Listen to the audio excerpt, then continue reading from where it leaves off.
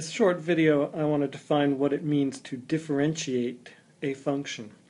This curve represents the graph of a function and we're concerned with what's going on at one point on the curve. Now you might have even thought about questions like this in the past. At that point is the function increasing or is it decreasing? How rapidly is it increasing? You may have even thought about slope of the curve at that point. Slope really is a concept that only applies to a line. Well, there is a, a line associated with that point. It's called the tangent line to the curve. And we're going to define what the tangent to a curve means. Um, now, tangent is a word that really applies to only one type of curve, the circle. A tangent is defined as the line that intersects the circle at exactly one point, as opposed, by the way, to the secant, that is the line that intersects at exactly two points. But we cannot use this definition of the tangent for other curves. Because if you consider a curve like the one seen here, you can see that a tangent might intersect it at more than one place. However, a secant can be defined very easily.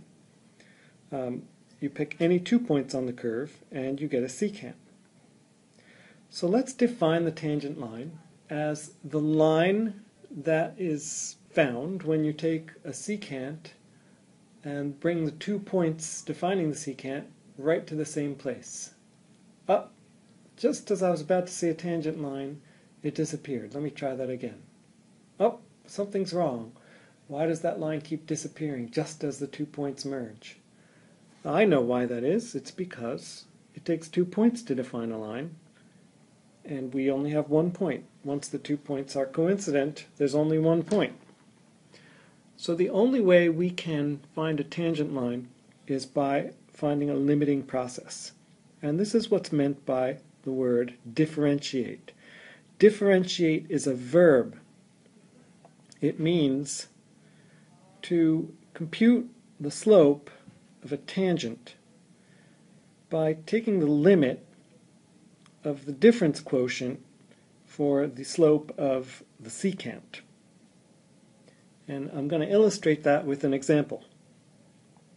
For example, suppose we are asked to differentiate the function f of x equals x cubed at the point 2 comma 8. First, I'm going to draw a sketch of the curve f of x equals x cubed, the point 2 comma 8, and a second point that I will call c comma c cubed that represents the other point that we're using for the secant to define the secant. So one of the points is at x equals 2, the other is at, at x equals c. Then draw a picture of the secant through those two points. The second step is to just write the slope of that secant. And slope is delta y over delta x. So you just subtract the y values and subtract the x values of those two points. Now we've computed the slope of the secant line.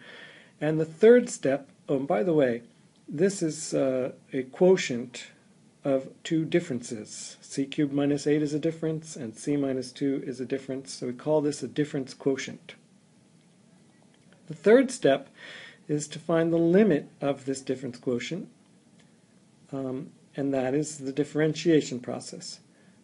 So we say dy over dx is the limit as c approaches 2, so the two points are going to merge to 1, of delta y over delta x.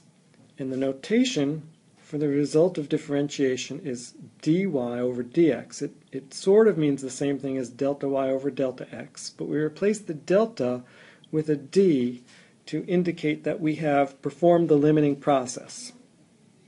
So I simply compute now, using the methods we've learned, the limit as c approaches 2 of that difference quotient in the usual way. I factor out the 0 over 0 problem, and then I can substitute in 2, and the answer is 12 the slope of the tangent line of the curve y equals x cubed at x equals 2 actually is 12.